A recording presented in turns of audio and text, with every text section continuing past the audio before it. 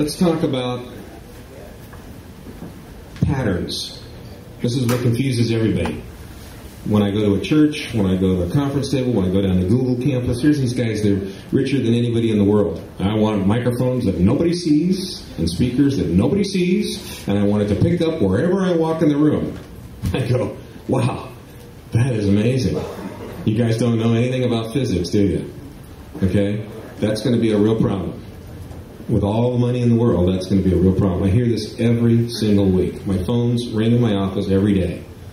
Um, same thing. They don't want to see anything. So there are some compromises. And before we get to these compromises, this isn't me speaking, this is physics. You know, the great God of physics dictates the following will be true. And we have to deal with this pattern. Here is a cardioid microphone. Cardioid. Why do we call it cardioid?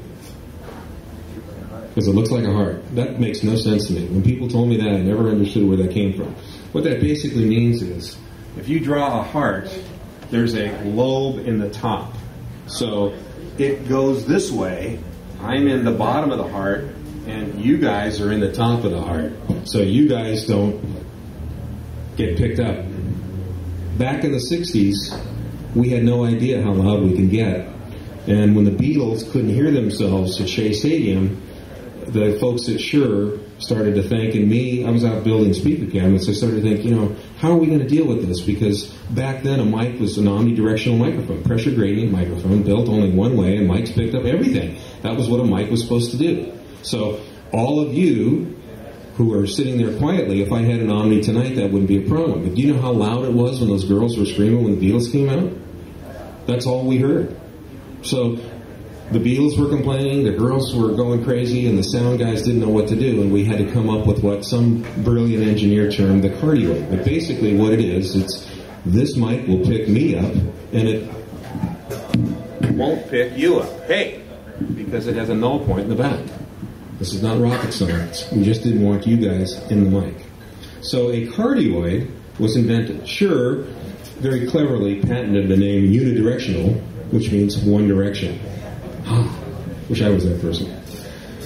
So a cardioid pickup pattern picks me up, and it can kind of fade pretty quickly. Is that a good thing or a bad thing? Both. It's a great thing if you're a rock and roller playing on a loud stage and you don't want your back line coming in your mic. This is a big concern of us guitar players. We do not want my guitar great tone being ruined through front of house coming out the mains.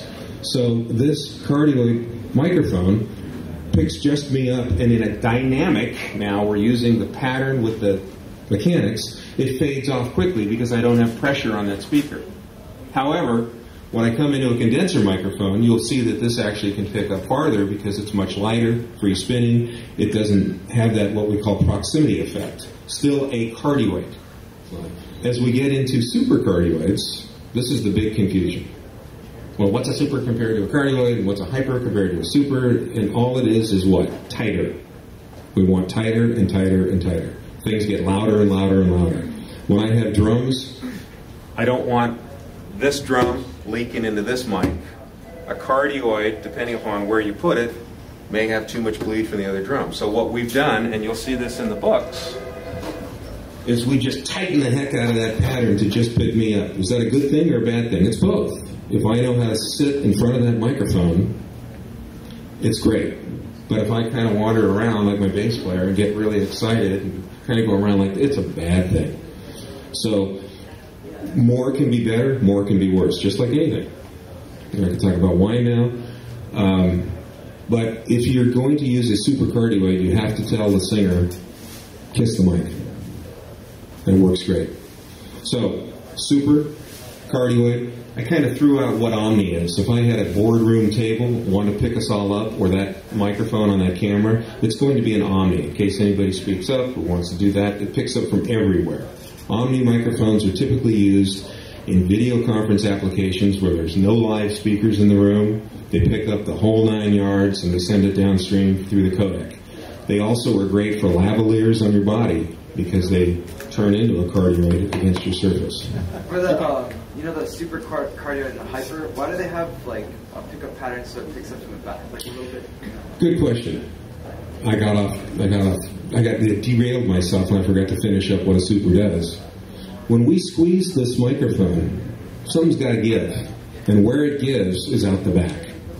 And a hyper squeezes so much that Shure believes we shouldn't make them, and I do too. When we first came out with our first supercardioid, and Lee Greenwood and Melissa Etheridge went out and sang with this microphone, and it was really cool. And all of a sudden, we realized, oh my God, did you hear that? That supercardioid spits out the back that if you have one of these puppies right in the right way, it's really bad. And we had to quickly reconfigure the boxes and the education, we had to put this little thing on your Beta 58 or Beta 57 to be able to say, put this on your thing and keep your monitors over there 60 degrees. Remember that? That's what supers do. So as we tighten up this pattern, we have to move this wedge out of here. Now, today's world, what's the answer? In ear. No feedback. Same sound every night. And that's, an, that's another clinic. Okay, a lot of people are wanting to go in ear, ears as we call them. Um, you get to forget about that. But to answer your question, it was a good one. Hyper just takes it too far out the back. It's almost a bidirectional microphone. So we stop our crunching at a super. How loud should a mic be? Where is zero VU on the mic? What should happen? You know, there's a lot of folks that have all the power in the world and all the speaker in the world, and there's some of us that don't. And when we did our, this is going to be kind of a Shure pitch here. When we came up with the beta series, we thought beta should be for pros. These guys are on stage, they're good, they know how to use mics. We're kind of wrong in that. And uh, they should be a little louder. So we actually are talking about dynamic and condenser that has 5 dB more gain. Is that a big deal? Anybody that mixes sound? Is that a big deal? 5 dB? Well, 100 watts to 200 watts is how many dB? Three. So 5 dB in this beta microphone for a small, cheap little PA that that's all he's ever going to have, and that's all, you know, you can actually buy a beta microphone and more than double your output, provided feedback isn't an issue. You with me? That matters I'm not going to point at anything here, but you have a small PA, that's it. You have a guitar amp, you're growing up. I mean, I used to play guitar out of my dad's uh, tape recorder, that little big three inch speaker. To some applications, this beta microphone can make the difference between night and day because it's 5 dB hotter, it is available dynamic or condenser, and they're supers. Steely Dan, Roger Nichols, these guys have the greatest ears in the business. They were with us the whole way when we did these things and how we wanted to you know develop these. We, we work with a lot of stars. This beta series back in 1990 was a big, big hit. Okay. I told you the difference between the 57 and the 58. What's the difference between the Beta 57 and the Beta 58? Nothing. I actually think this mic, without the ball, looks better my personal opinion. I was on the rep council committee, and you know we got to argue for the whole weekend. This originally was orange, now it's blue, thank goodness. And we thought, okay, let's do away with this difference between this mic that pops and this one that has this grill with this brightness. So we make the Beta 56. One of my favorite mics. You put it on a put it on a boom and never comes off. A 56 a 57, a 58, the same mic. Okay? Supercardioid, dynamic, available in different mounts. So, here's a sales plug, sales secret. You can come buy a Beta 57, 20 bucks less than a 58, same mic. Unless you got to have that round ball.